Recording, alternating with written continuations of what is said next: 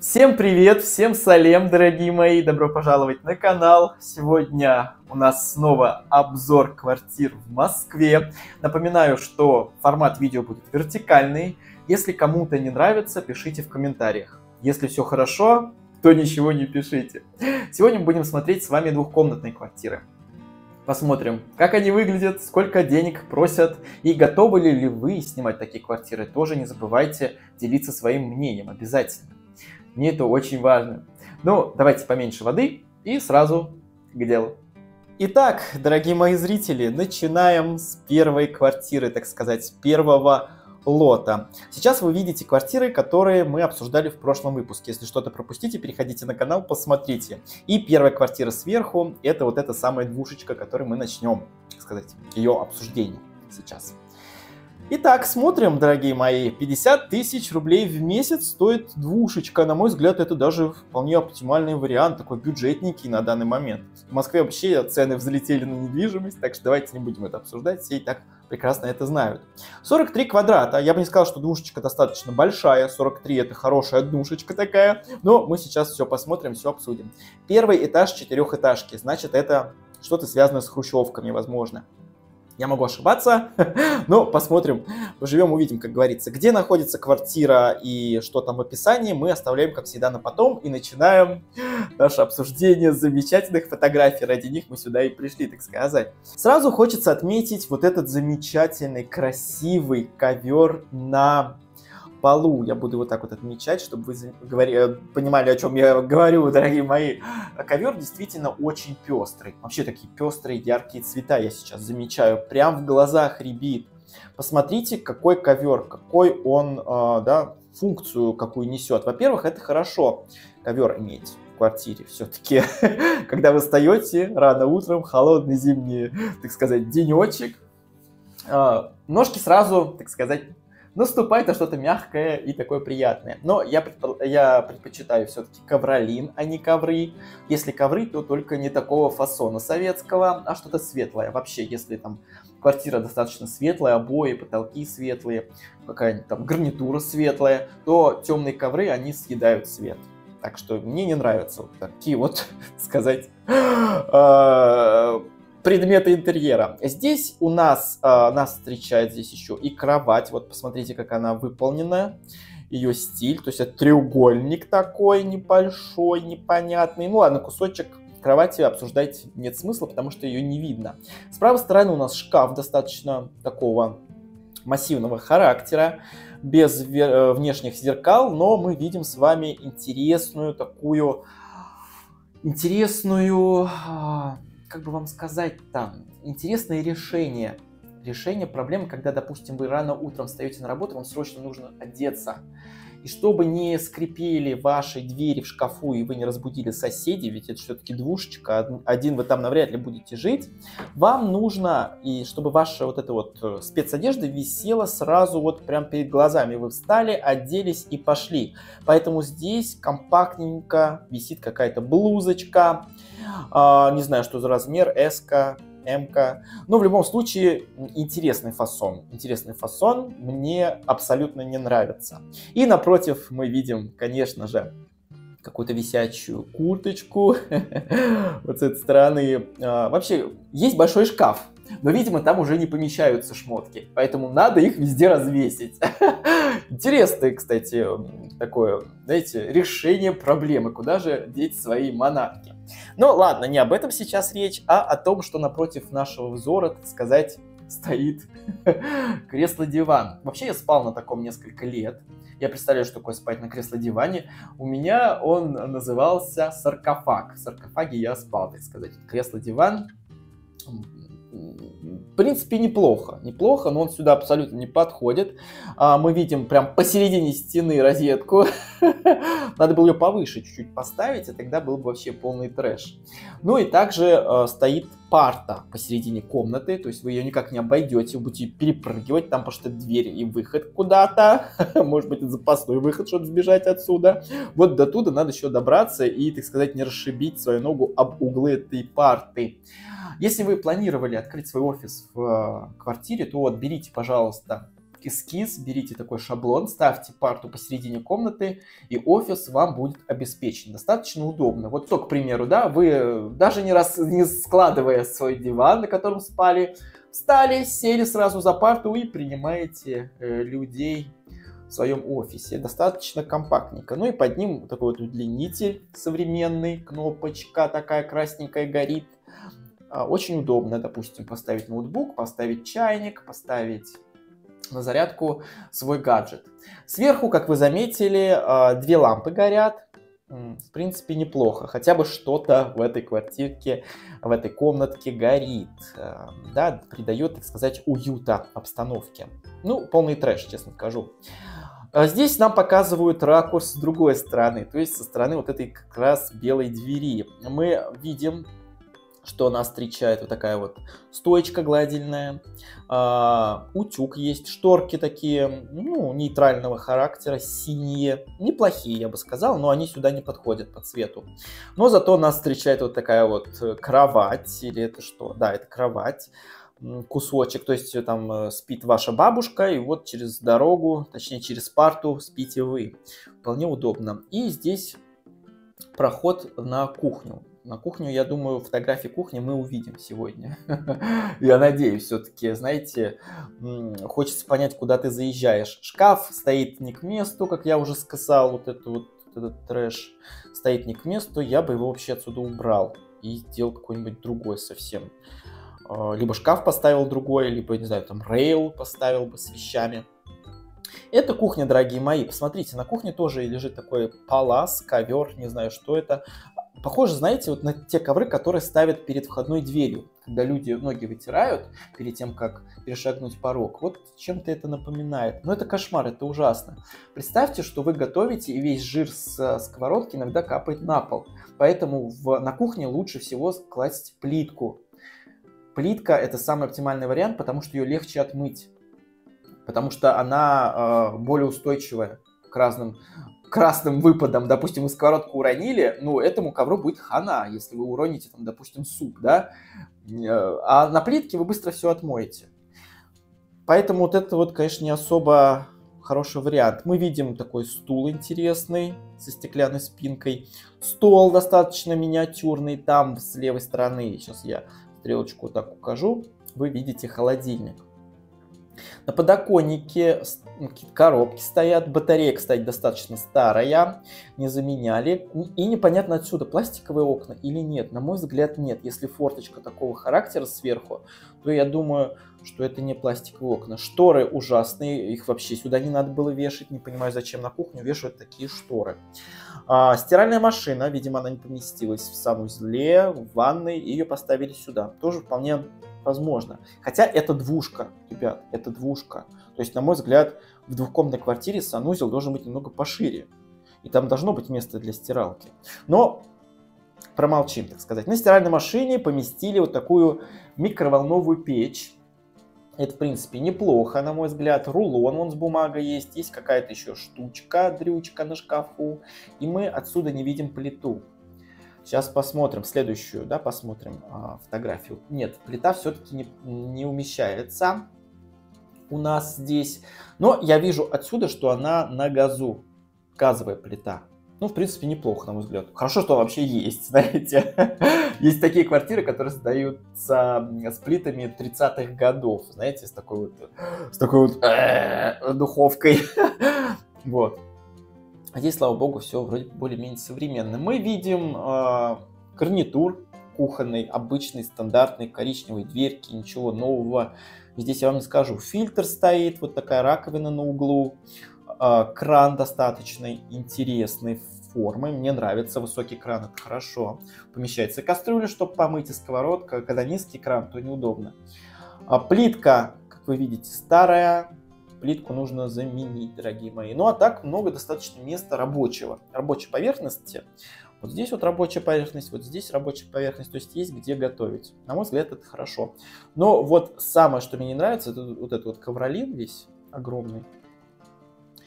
Вот этот ковер, я бы его отсюда убрал, он вообще тут ни к чему. Здесь должна быть плитка, дорогие мои. Санузел, ванна, смотрите, это совмещенный санузел. Обратите внимание, в двухкомнатной квартире. Стоит какое-то ведро, какая-то миска, да? Что это? Ну, это два ведра таких металлических. О, скол, обратите внимание, скол на плитке на полу. Вот, кстати, вот сюда бы как раз вот этот ковер бы и постелить с кухни-то. Вот сюда бы, чтобы скрыть вот этот трэш. Потому что вот я, допустим, схожу в душ, наступлю и пораню свою э, белоснежную ногу. То есть э, будет кровище налево-направо хлестать. Срочно нужно сюда постелить ковер. Они постелили тряпку на пол. Не, ну слушайте, это тоже вполне нормальный такой выход из положения. Но они как-то ее постелили э, правее, да, вы видите, тряпочка здесь, она должна лежать вот здесь. Ну, ничего страшного, простим мы этот косяк, э, дорогие мои. Ванна новая, я вижу. Плитка хорошая. У меня, кстати, где я сейчас живу, почти такая же плитка. Мне нравится. Чистенькая, приятная, светлая, уютная. А раковина с шкафчиком под ним. Это хороший вариант, на мой взгляд. Когда есть шкафчики под раковиной, вот такой гарнитур, то все трубы, их не видно. И это более эстетично выглядит. Интересно. Хорошая раковина, ничего не скажу. Есть мыльница, и какая-то там тряпочка лежит. А, зеркало а, с такой подставочкой. Ну, зеркало, зеркало я, зеркала я люблю либо они с подсветкой, как современные сейчас, да, вы включаете подсветочку и видите каждый свой прыщик. Либо зеркала с полочками, то есть вы открываете за зеркалом полочки. Это экономия, так сказать, лишнего пространства. То есть вы можете за зеркало все положить, все, что нужно, не засоряя вокруг э, своими вещами, да, а, пространство. Вот за зеркалом нужно пользоваться вот этим вот местом. Просто зеркало вешать это не экономично, на мой взгляд. В плане пространства, использования пространства. Унитаз закрыт, я его не прокомментирую, но он чистый. Это хорошо. Ну, нормальный санузел, я не скажу ничего такого. Входная дверь, входная локация. Посмотрите, у нас здесь деревянная, значит, дверь с этой стороны, из внутренней. У нас здесь есть вешалочки с крючочками. Все вполне нормально. Ну и, конечно, вас встречает металлический совок а-ля 90-е. Снизу у нас линолеум старый, а сверху у нас какие-то провода. Вот здесь вот обратите внимание, провода. Здесь какая-то штучка висит непонятная, непонятная вообще. Справа счетчики. Вот это вот, конечно, кошмар. Вот тут я вижу, и меня бросает в дрожь от того, как это все выглядит, как это все... Э, я не знаю, как подобрать это слово, подберите сами за место меня. Ну, так не должно быть в, э, в квартире тут торчащее, все кричащее. Ну и снизу, дорогие мои, опять распродажа обуви, как и в прошлом моем выпуске. Вы можете что-то себе подобрать своим детям, так сказать, на зиму ботиночки-то и, э, так сказать, унести, да, унести. Это была последняя фотография, ребят. Это была последняя фотография. Что думаете, пишите в комментариях, а мы пока займемся описанием, дорогие мои. Это метро Солнцево. 10-15 минут. Сейчас мы посмотрим, где метро, а где квартира. Вот вы видите замечательно, да, все сами. Вот от метро, вот здесь квартирка находится. Ну, идти через дорогу, через Боровское шоссе. Но не страшно, я думаю, все нормально, все умеют дороги переходить. 10-15 минут от метро, сейчас замечательно. Вам не нужно тратить деньги на автобус и на трамвай. Дальше идем, дорогие мои. Квартира, количество комнат 2. Мы с вами увидели, по-моему, только одну комнату. Вторую нам не показали, если мне не изменяет память. Мы видели кухню и одну комнату. А где вторая-то? Слушайте, что-то мне уже не нравятся такие описания. А, количество комнат 2, площадь 43, 6 кухня, жилая, бла-бла-бла. Косметический ремонт, совмещенный санузел. Заметьте, что это первый этаж, дорогие мои. Не все любят первый этаж. Условия аренды. Залог пол месяца платите, а напоминаю 50 тысяч за целый месяц, значит 25 вы платите залог и еще 25 комиссия. То есть всего вы заплатите 100 тысяч, чтобы въехать в эту квартиру. На мой взгляд, это неплохо. В современном мире двушечка. Но вторую комнату вы не увидите. Может быть, она заколочена гвоздями, и вы туда никогда не попадете. Поэтому, конечно, все вопросы нужно решать уже по телефону. Оплачивается по счетчикам, ну, счетчики оплачиваются отдельно, а коммуналка включена в платеж, поэтому замечательно. Рассчитано на 4 людей, гостей, можно с детьми, а с животными нельзя и курить тоже нельзя. Поэтому бросайте свои плохие привычки, дорогие мои зрители. На длительный срок сдается а, двухкомнатная квартира у станции МЦД «Солнечная». Квартира с мебелью и техникой, дополнительно оплачиваются счетчики, это понятно, и рассмотрят семью, можно с детьми. Вот это, конечно, уже такие прихоти, так сказать, а, собственника, да, то есть только семейным. Если вы одиночка или если вы с подругой или с другом, шиш вам с маслом, не эту квартиру вы получите, дорогие мои. Но как вам? Пишите в комментариях, как вам эта квартира. Год постройки 1960 Ну, понятно, что хрущевочек, скорее всего, да, такая небольшая, небольшой дом. Как вам квартирка, пишите. А мы перейдем пока ко второй, ко второму лоту, так сказать. Итак, дорогие мои зрители, мы переходим ко второму лоту. И выглядит квартирка вот так. Давайте смотреть скорее картинки, фотографии. Мы же ради этого сюда и пришли. 56 тысяч рублей. Двухкомнатная квартира 54 квадрата. О, она побольше, чем предыдущая. Это уже хорошо. Значит, есть где разгуляться, как говорится. Первый этаж. Снова мы попадаем на первый этаж 17-этажного дома. Представляете себе, какой высокий дом. Это точно не хрущевка. И вы будете жить на первом этаже. Квартира будет возле лифта. Вы будете слышать и знать каждого соседа. На мой взгляд, это интересно. А, метро Митина. Это хорошая западная веточка в Москве. Там, говорят, свежий воздух везде и вообще хорошая э, инфраструктура. Ну, не знаю, посмотрим попозже, где находится квартира. сейчас давайте смотреть фотографии. Первая фотография, и нам показывают подъезд первый этаж подъезда. Вы видите, что здесь есть специальные такие, э, как сказать, э, ну, вы понимаете, да, чтобы коляску поднять и тому подобное. Сейчас слово не вспомню, не буду на этом концентрироваться. С левой стороны два лифта. Скорее всего, один грузовой. Сейчас я его отмечу, вот этот грузовой, а это пассажирский обычный. Да, и наша квартира находится вот здесь, то есть, э, ой, так, где моя стрелочка, вот здесь находится квартира, то есть далеко не ходить не надо, в принципе, зашли в подъезд и вот, пожалуйста, раздевайтесь, кушать подано. Следующая э, фотография, мы уже внутри квартиры, дорогие мои. Конечно, что хочется заметить? Опять э, желто-оранжевый ковер. Э, ковры нас сегодня преследуют словно. Э, выглядит он достаточно поношенным, да, вы видите. Цвет такой, в принципе, не ахти. И я не думаю, что он прям новый, нулевый. Я могу ошибаться. Но мне не нравится расцветка, все какое-то оранжевое. С левой стороны тумба. Тумба, да.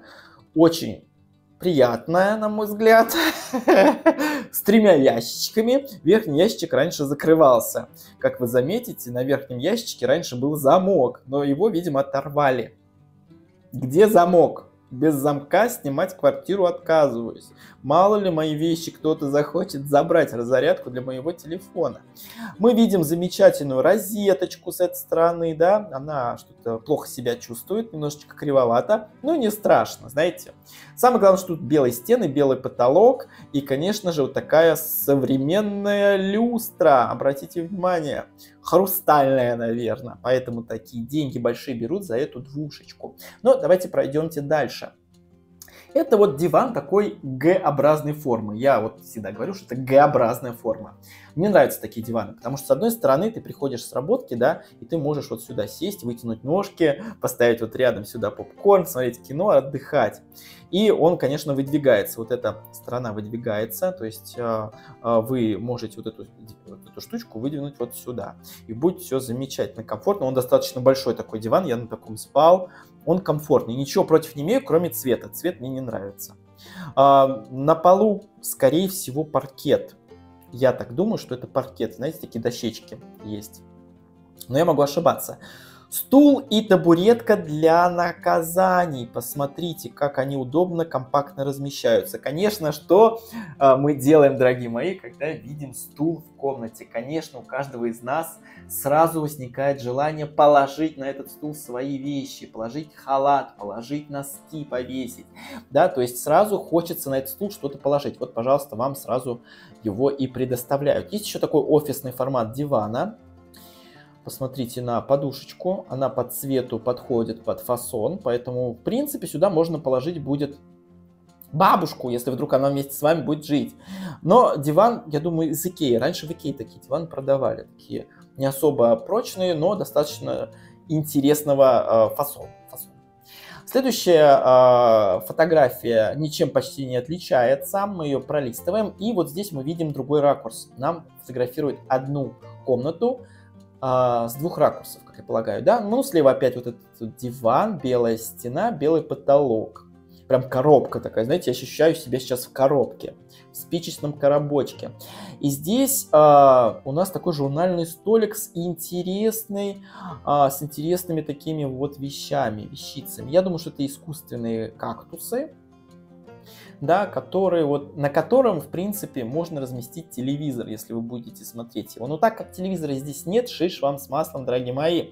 За эти деньги вы сами себе покупаете телевизор, знаете, квартира все-таки не для телевизоров создана, а чтобы жить, поживать и добра наживать на этом ковре. Я бы убрал бы ковер к чертям собачьим. Шторки обычные, стандартные, ничего не скажу. Карниз есть, и причем такой, такой, такой длинной панелью, которая закрывает все эти ниточки и тому подобное. В принципе, карниз и шторки нормально. Топчик, я бы сказал. Диван цвет я бы отсюда убрал, этот диван. Ну, а диван бабушки я бы, может быть, оставил, только проиграл как-то с цветами. В принципе, неплохая комната, ничего лишнего нет. Заметьте, что это первая комната, в которой нет шкафов и гардеробов. Вот этих вот советских стенок. Просто диван, диван и журнальный столик. Это хорошо. То есть есть где разыграться, разгуляться, так сказать. А это вторая комната, дорогие мои. Я же напоминаю, что мы смотрим двухкомнатные квартиры, да. Двухкомнатные. И здесь замечательно установлена а, либо двухспалка, либо... Ну, двухспалка, на мой взгляд, интересная, новая, я думаю, кровать не такая старая. Ну, она не выглядит старой, на, по крайней мере, на фотографии. И матрас такой, да, без э, каких-то биологических пятен, но я могу ошибаться. Может, цвет-передача, знаете, так сказать, такая сейчас здесь. Ну, такая вот тумба-юмба. Я все э, тумбочки, которые выглядят ужасно, называю тумба-юмба на своих обзорах. Поэтому можете обратить внимание, в принципе, сюда есть куда положить ваш смартфон, а здесь э, может лежать как раз, э, не знаю, там, крем для рук, к примеру, да, то есть есть куда положить. А, справа снизу вы видите, сейчас я поставлю стрелочку, чтобы вы понимали, о чем я говорю, стул для вещей. Вот как раз о чем я говорил ранее, когда вы видите стул в комнате, сразу на него хочется что-то положить, какие-то шмотки свои. Нельзя сидеть на стуле в комнате, обязательно на стуле должно что-то лежать, какие-то шмоточки. Вот вам и сюда стул поставили.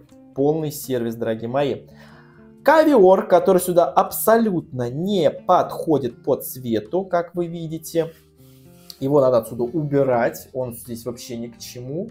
А, если хотите постелить ковер, подберите под цвет хотя бы, ну, штор, если они у вас коричневые, да, чтобы был какой-то, ну, чтобы оттенки перекликались как-то, а не просто давай-ка мы в черно-белую квартиру тяпнем вот сейчас вот разноцветный ковер, пусть он притягивает свое внимание. Ковер мне вообще не нравится. Похож на эту игру, знаете, когда нужно руки на, на, на круги ставить, не помню, как называется игра. Здесь комод, пожалуйста, сюда вы можете э, поставить зеркальца, а, подвинуть вот эту табуреточку сюда, и будет у вас такой стол для грима, косметический столик, там, где вы будете сидеть, пудрить носик. Стена, а на стене у нас абстракция какая-то. Ну и что мы видим? Конечно, в углу, в темном углу стоит темный шкаф. Я говорил о такой позиции шкафов в прошлом выпуске, в моем прошлом обзоре, то, что в темном углу люди стараются вот прямо вот поставить что-то темное куда не попадает свет, дай-ка мы туда и шкаф еще темный забацаем. Я бы убрал его отсюда, он сжирает вообще весь свет. Посмотрите, какой темный угол, видите? Обратите внимание, прям темный. Знаете, как будто там тьма просто распространяется. убрать, убрать шкаф и забыть про его существование. Поставьте лучше что-то светленько туда. Комод какой-нибудь тоже, не знаю. Здесь стоит у нас еще одна полочка с другой стороны куда вы можете поставить еще один свой гаджет. Ну и старый советский такое кресло деревянными ручками. Были у кого такие кресла, дорогие? У меня были. У меня были кресла с деревянными ручками. А, ой, даже прям сейчас ностальгия такая небольшая, но я бы его бы выкинул все равно. Окно старое, не пластиковое, на окнах решетки я вижу отсюда. А, шторы, цвет штор мне не нравится, но сам карниз, в принципе, неплохой. Карниз, вот эта вот палочка, она закрывает вот эти вот стыки между шторами и всякими нечистями, поэтому, в принципе, карниз хороший. Карниз мне нравится, и кровать неплохая. Ш, э, люстру бы я бы отсюда вот эту вот, а, где у меня маркер, убрал бы. Она сюда не подходит. Ну, немного темновато, может быть, из-за того, что погода за окном плохая, или просто э, сторона комнаты находится не, не на солнечной стороне грубо так, грубо так скажу. А, следующая комната, ой, следующая фотография с другого ракурса показывает нам комнатку, пожалуйста, да. Здесь четко, уже отчетливо виден этот диван с деревянными ручками, кресло, прошу прощения, а, кровать, и вон там в углу еще пылесос стоит. Как мы могли забыть про пылесос. И второй шкаф уже с зеркалом в полный рост стоит. Ну, в принципе, он неплохой.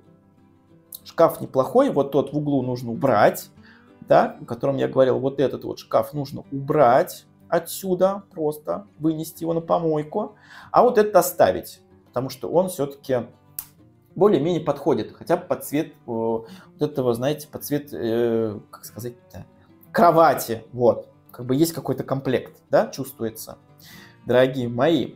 Ну и, конечно, дверь, на двери тряпочка, наверное, потому что дверь уже съехала с петель, и она не закрывается на обычный замок. Тряпочку вешают, чтобы вот дверь вот так вот прям, чтобы никто не пробрался в мою комнату. Скорее всего, она поэтому там и висит. Еще один ракурс комнаты, но я обсуждать это не буду. Знаете, ощущение, как будто прям сюда должны сесть ваши подруги и вести собеседу с вами. Беседу с вами вести. Собеседу, фига себе, у меня новое слово. Вот вы тут вот лежите такая вся, знаете, такая вся растр... растрепанная, волосы в разные стороны, а вот здесь э, сидит, э, сидят ваши подруги и пытаются вам что-то доказать, да? Либо родители, да когда ты уже встанешь, хватит лежать, ты лежи бока. Ну прям вообще, для собеседования прям топчик. Ладно, это мое чувство юмора глупое, не слушайте меня.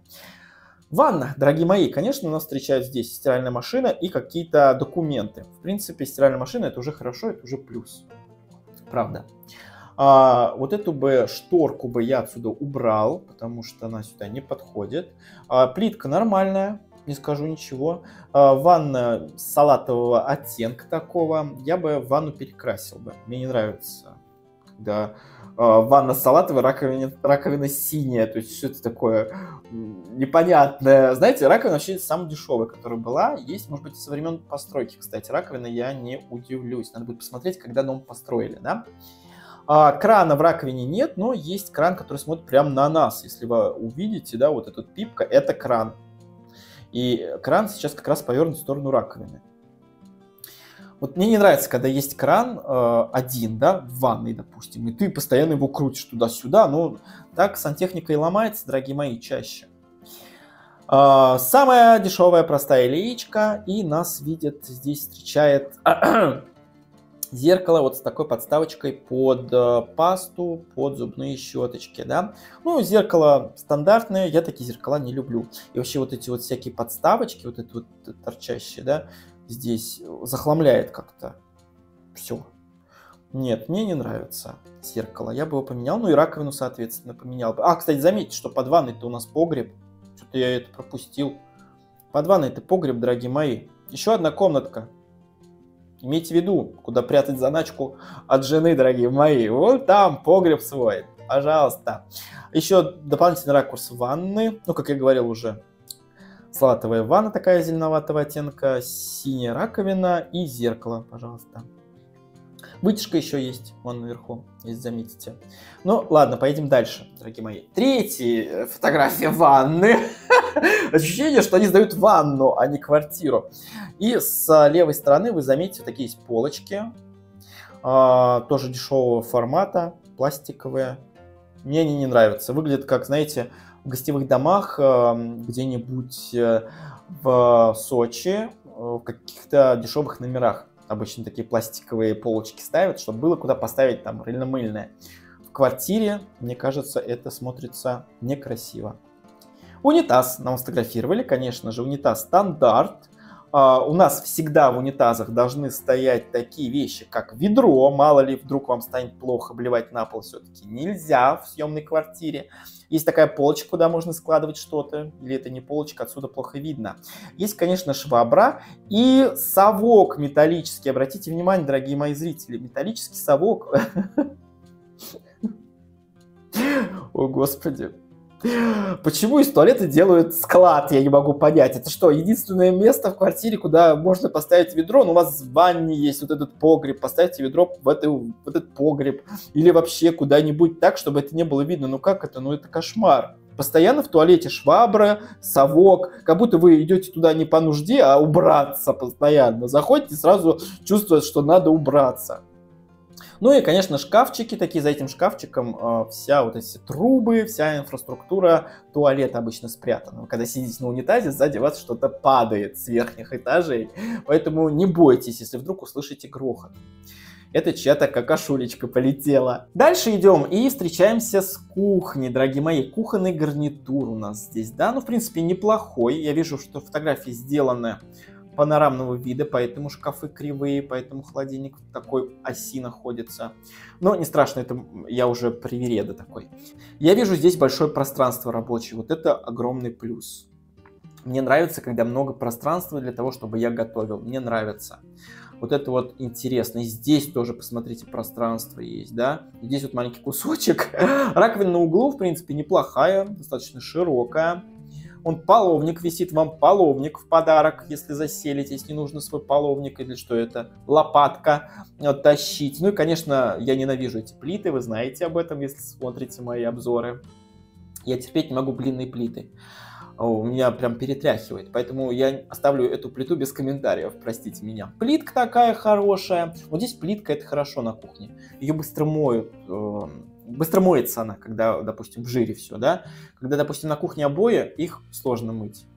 А плитка это прям топчик. Нет вытяжки, мои, мои дорогие, нет вытяжки и нет никакого освещения. Обычно вот в таких местах под полками, да, вешают такие э, полосочки, эм, свет, короче, делают, чтобы вы видели, что вы режете. Потому что здесь свет, получается, падает вам в спину, когда вы готовите. И вы можете себе просто пальцы себе порезать. А на потолке у нас две лампочки, третья почему-то не горит. Может быть, просто ее не включили. Ну и ладно. А, ну и также он дырка, как я полагаю, это дырка вытяжки. Да? Очень интересно. Очень интересно выполнена эта дырка. Знаете, как будто там сейчас птичка выскочит. Или белка захочет орешки. Интересно, конечно, а, фасон. А, кухни, да, мы видим. А, здесь еще один такой у нас а, формат. У нас здесь появляется картинка стола деревянного. Мне нравятся деревянные столы, кто бы что ни говорил, дорогие мои.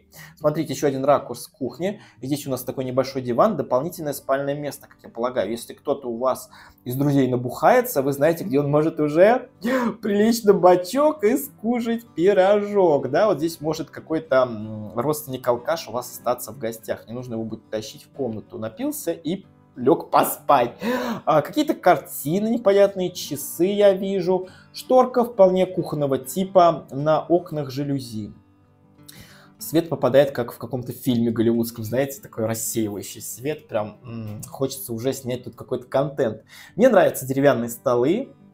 А, тут я ничего не скажу против. Табуреточка, стул стоит аккуратненько, плита прям вообще мне не нравится. И наверху на полках какие-то у нас шумбы-юмбы. Это, скорее всего, какие-то талисманы от сглаза.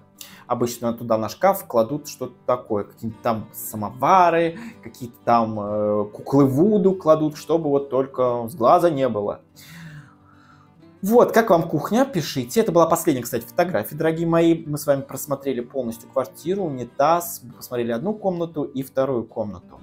Давайте теперь читать, где это находится, чтобы понимать вообще. 56 тысяч будем платить, а жить-то где?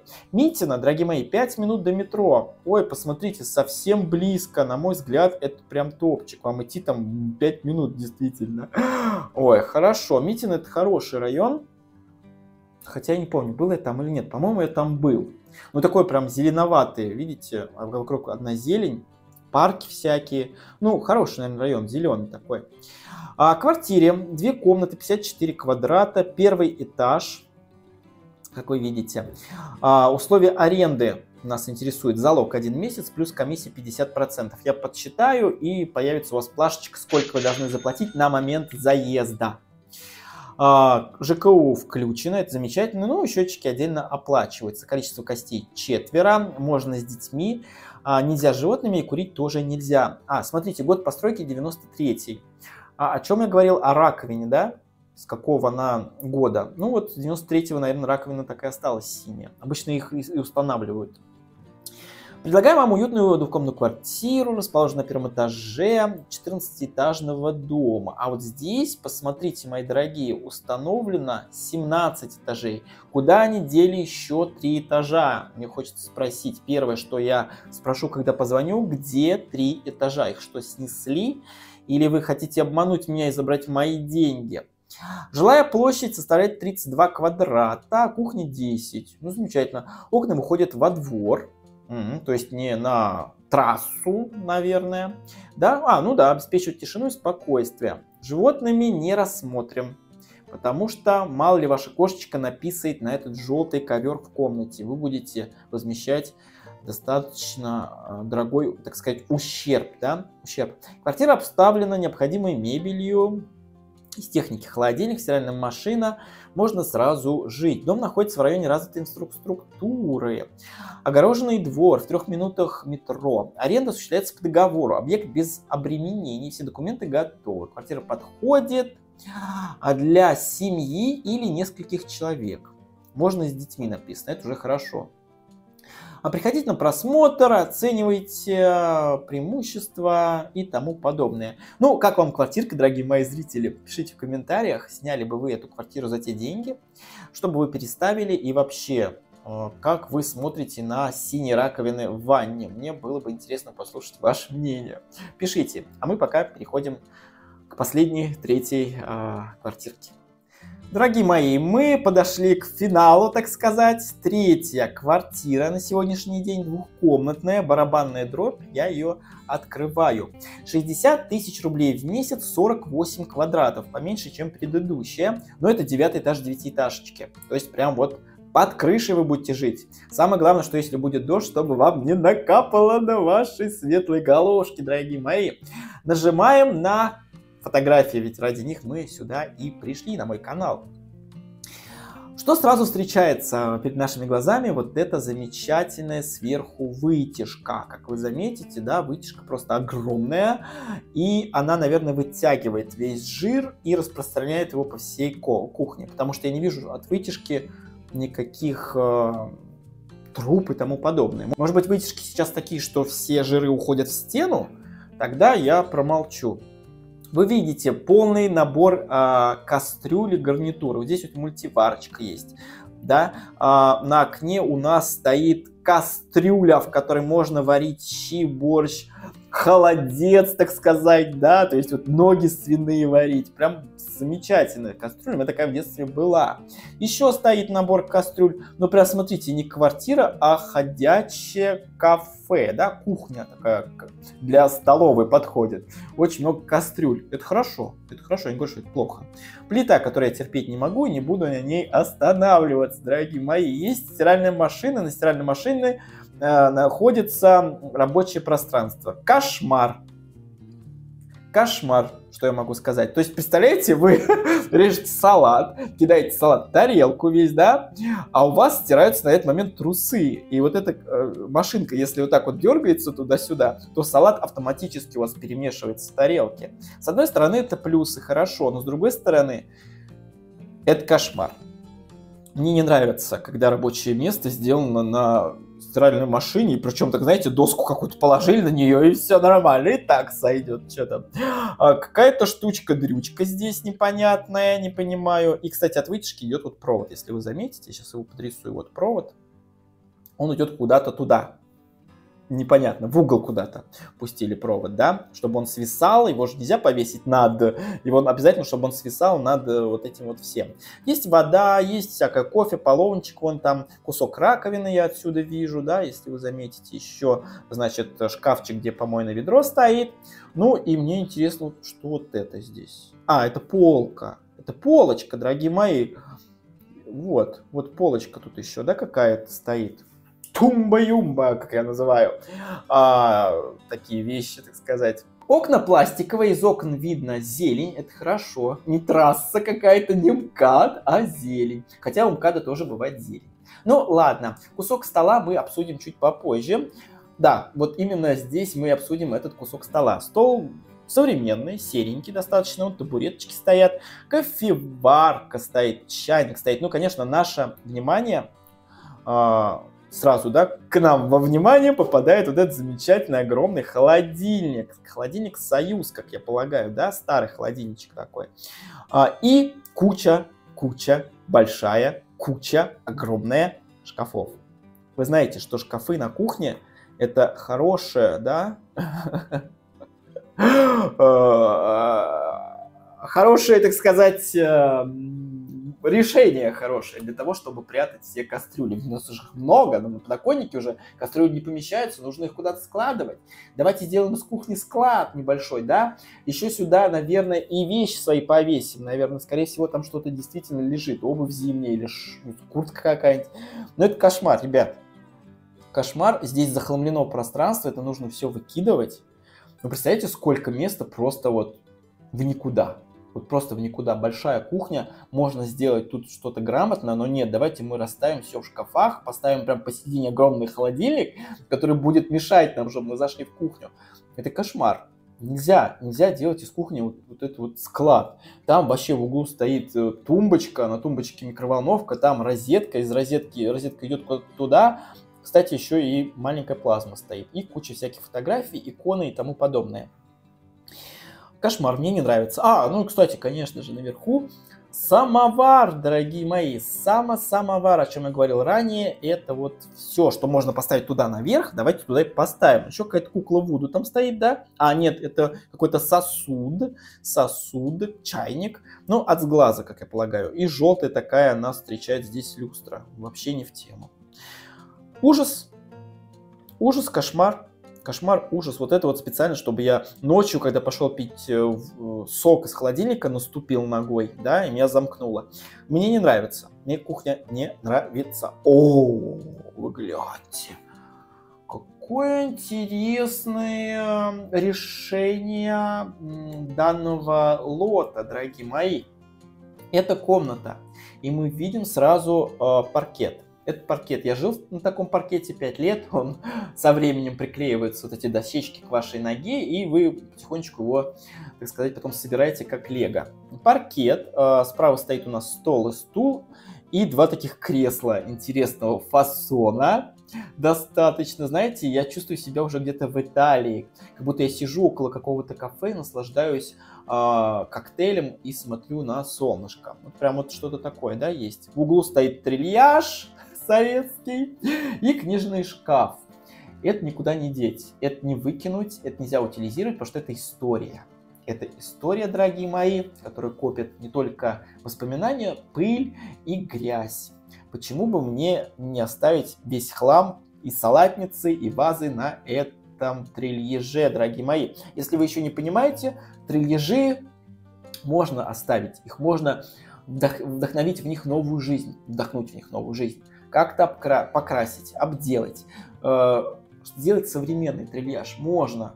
Но когда он остается вот в таком формате, при таких низких потолках и плюс еще выглядит ужасно, ну, их надо убирать, дорогие мои. Они должны быть под стиль квартиры, на мой взгляд. Трильяжи всякие и шкафы. Стоит стул для наказания, старая, вот это вот, как сказать-то, господи, батарея старая не заменяют. Старые окна, как я вижу, выходят окна на балкон.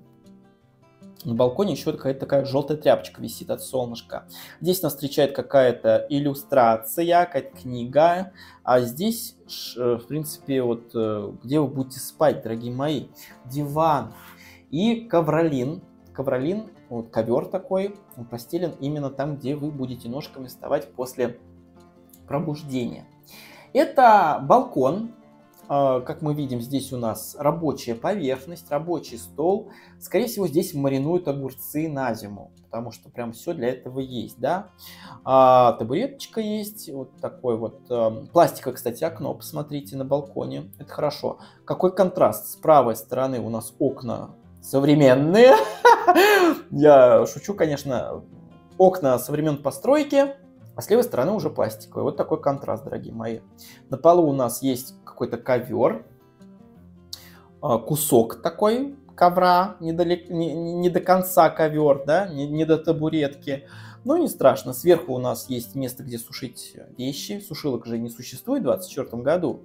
А еще также у нас освещается балкон двумя, э, двумя такими вот лампочками, чтобы выйти и посидеть, так сказать, понежиться вечерком, почувствовать себя на фазенде какой-то, наверное, да. Ну и также мы видим здесь какие-то крючки, скорее всего, это на тот момент, если кто-то будет сушить рыбу, вешать, да, на солнышко. С, другой, с другого ракурса сфоткана нам комната, диванчик достаточно компактный, можно сказать, э, полуторно-спальный. Обои менять мне они не нравятся. И еще у нас, вон, смотрите, какая радость, да, стоит. Вот здесь у нас э, пылесос, здесь у нас стул, коробки какие-то непонятно с подобуви, что ли. И еще у нас здесь шкаф, а на шкафу у нас еще куча всего, вы гляньте, ну просто не квартира, а ходячий склад антиквариата. Ребят, конечно, куда деть телевизор, как не поставить его на шкаф, ну, тем более на такой красивый э, коричневый, да, шкаф. Кошмар. Ой, слушайте, смотрю, да, и не вижу. Вы, вы мне ничего не пишете. Там же второй холодильник стоит, господи ты, боже мой. Два холодильника. Ну, правильно, двухкомнатная квартира, два холодильника. Почему бы нет? Люстра похожа на кегли из боулинга. Поехали дальше, дорогие мои. О, угол, э, угол, так сказать, балкона выходит на зелень и какая-то палка-деревялка стоит, или что это непонятное. А, окна еще остались э, с наклейками от производителя, почему бы не оставить на память. Но интересно, то есть как-то вот сбоку, получается, открывается окно балкона. Интересно. Вторая комната, дорогие мои. Не будем останавливаться на достигнутом, так сказать, и продолжим наш обзор. Нас встречает тахта. Тахта, дорогие мои, посмотрите, какого она фасона. Сто лет не видел тахту. Ну вот вы понимаете, да, где будет спать ваш ребенок или ваша сестра, брат, не знаю, с кем вы там будете жить в двухкомнатной квартире.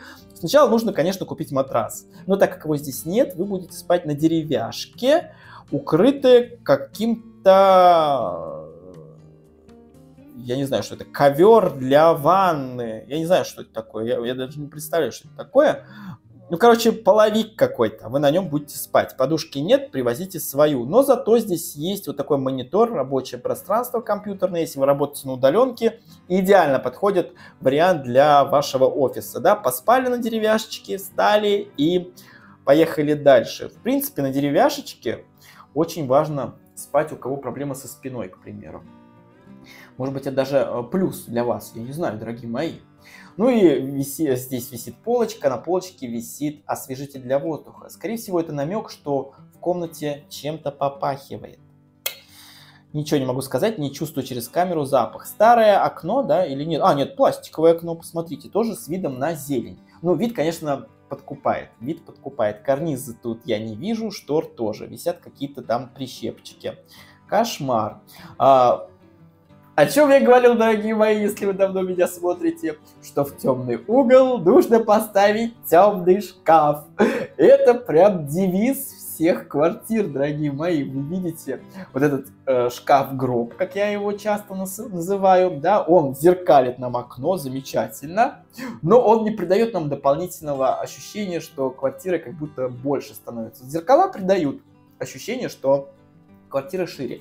Но когда просто стоит темный шкаф, гроб в углу и забирает все, посмотрите, даже над ним тень есть. Тень, негативная тень, ребят. Ну это кошмар, убрать, выкинуть вообще. Забудьте про эти шкафы, господи, нет. Это кошмар. Убрать, выкинуть и больше не возводить такое, господи. Люстра с одной лампочкой, Ильича, но вокруг зато хрусталь висит такие висюлечки, да. Ну, шикуем, как говорится. Также с правой стороны у нас два стула и пакет с мусором. А, зеленые интересные такие обои. Можно было их обыграть как-то, возможно. Ой, ну выкидывать надо отсюда все, господи. Ну и пол, конечно, пол это паркет, наверное, деревянный, обшарпанный весь со времен Великой революции. Ну, здесь надо класть ковролин на всю комнату. Тогда, может быть, он спасет. И ковролин должен быть светлый, потому что солнечная сторона вы встаете, просыпаетесь, и свежо, и комфортненько. А тут просыпаться просто почти негде. Тут тахта, так сказать, дорогие мои. Ракурс с другой стороны. Посмотрите, как все компактненько, удобненько. Кремлевские часы, а, книги, безусловно, да, какая-то плашка темная, непонятная. И здесь мы уже четче видим полы, дорогие мои. Полы действительно а, ощущение, знаете, что их шкаблили чем-то подтирали чем-то. Но это кошмар. Ну, еще один ракурс этой комнаты уже со стороны окна. Еще один пакет с мусором. А, что тут еще, господи? Какая-то полочка непонятная прибитая, просто посередине стены. А, бра висит, и причем она висит так, чтобы сидеть около нее, около вот этой вот э, тумбы и читать. Почему бра там? Наверное, скорее всего, там была кровать. Но они вот оставили фасон. Ой, господи, знаете, я смотрю иногда, когда квартира, я пытаюсь сопоставить вообще вот этот конструктор, так вот сказать, э, понять, почему все-таки люди решаются вот на такие вот эксперименты. И, конечно, дверь выходит в коридор, а там у нас ждет уже какие-то ремонтные работы. Это коридор, входная дверь, да, мы видим такой замочек э, интересный, круглое зеркало, как в фильме э, «Звонок». Те, кто не смотрел ужасы, меня не поймут. Интересно то, что зеркало сделано под фасон стен, да? Какая-то одна есть стилистика. Интересно, ничего не скажу. Есть тумбочка фиолетовая такая, бордовая, не знаю. Эм, непонятная честно скажу, под ней лежит какой-то провод, и с правой стороны куча-куча шкафов. Нет, надо все переделать, ребят, так как э, вы входите, свет сюда попадает только когда, если дверь открыта в комнату, а так получается темно, поэтому э, нужно как-то обыгрывать. Обыгрывать надо это все. Мне не нравится абсолютно. А это что такое? А, это продолжение большой комнаты, так сказать, возвращение, так сказать, большую комнату. Возвращение камбэк, да, мы видим вот еще какой-то шкаф с правой стороны, господи ты, боже мой, какой-то плакат какого-то певца. Ой. Ну и ванна, ванна, раковина, под раковиной труба, раковина с, с времен постройки, я думаю, опять, да, кран и туда, и сюда. Это я не говорю, что это плохо, просто, на мой взгляд, если есть раковина, ну, поставьте вы гарнитуру для раковины отдельно, и отдельно у вас кран, ванную, да, вот это вот крутить туда-сюда, ну, блин, ну, ребят, ну, это прошлый век. Плитка интересная, но она почему-то не до конца. Не до конца. Шторка тоже ничего, неплохая, ничего про шторку не скажу. Зеркало мне не нравится. Полочка под зеркалом, в принципе, неплохо смотрится, стеклянная, но я бы ее отсюда убрал. Ничего не скажу. Стандартная обычная ванна, дорогие мои. И унитаз сфотографирован, на нем есть освежители. Прям что-то со освежителями здесь, да? В комнате освежитель, в туалете освежитель. Что-то здесь нечисто, дорогие мои. А, бумага туалетная стоит на этом самом, на бачке, значит, э, самого вот этой вот штучки, где вешается туалетная бумага, нету, возможно.